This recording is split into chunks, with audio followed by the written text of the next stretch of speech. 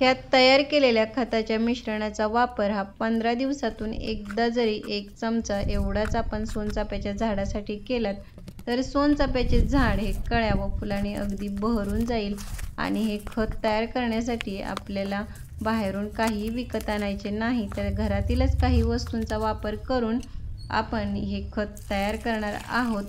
नमस्कार स्वागत आहे तुमचे आपले YouTube channel S P gardening मराठीमध्ये.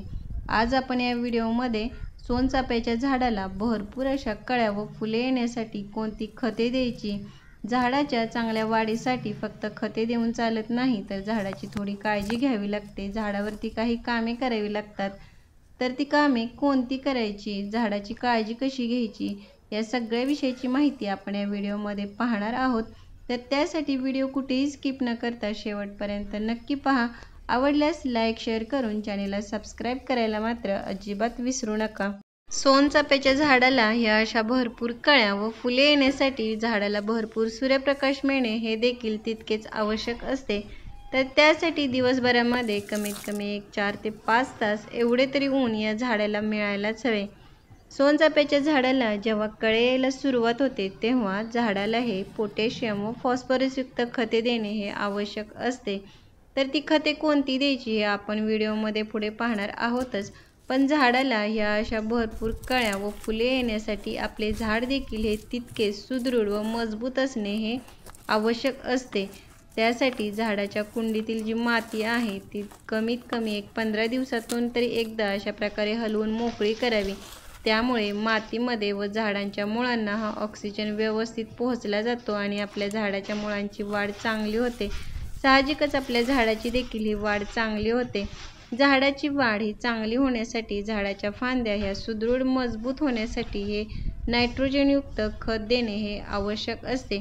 तर त्यासाठी मी आज या ठिकाणी या गांडूळ खताचा हा वापर करणार आहे. गांडूळ खतामध्ये हे नायट्रोजन भरपूर प्रमाणामध्ये असल्यामुळे आपल्या झाडाची वाढ ही चांगली होते. महिन्यातून एकदा तरी हे खत देणे हे आवश्यक असते. बऱ्याच वेळा झाडाला ह्या अशा भरपूर कळ्या लागतात. मात्र त्या उमलण्याआधीच ह्या गळ्याला सुरुवात होत असते. त्याची प्रमुख दोन कारणे आहेत. त्यातील पहिले म्हणजे झाडांना ही पोषक तत्वाची कमी असणे.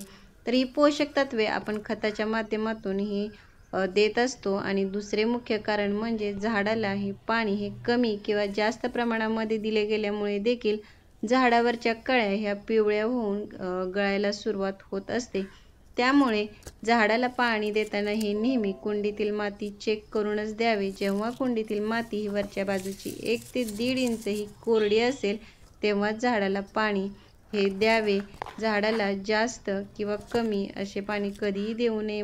झाडांना भरपूर कळ्या व फुले येण्यासाठी ही पोटॅशियम व फॉस्फरसयुक्त खतांची ही गरज असते. तर त्यासाठी मी या ठिकाणी या ज्या बटाट्याच्या साली असतात त्या सुकवून त्याची ही पावडर तयार करून घेतलेली आहे. बटाट्याच्या सालीमध्ये हे पोटॅशियम फॉस्फरस हे भरपूर प्रमाणामध्ये असते. त्याचबरोबर मी या ठिकाणी ज्या केळीच्या साली असतात त्या देखील सुकवून त्याचीही मिक्सरमध्ये बारीक अशी पावडर तयार करून घेतलेली आहे.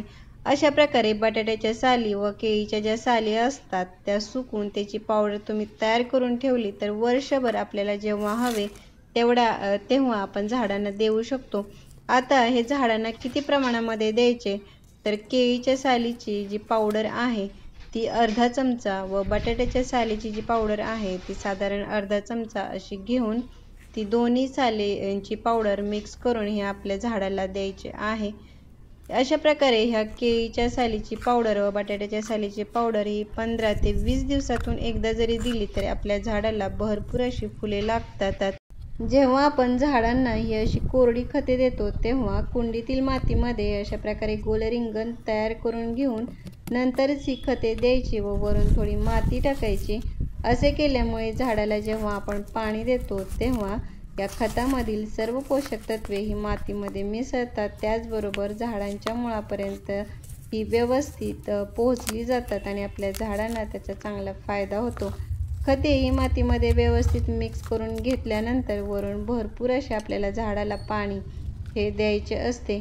तर अशा प्रकारे आपल्या घरातीलच वस्तूंचा वापर करून दर आठ ते दहा दिवसातून एकदा अदलून बदलून आपण ही अशी खते दिली तर आपल्या झाडांना भरपूर अशी फुले लागण्यासाठी ही मदत होत असते.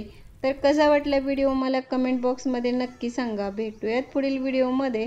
तोपर्यंत बाय.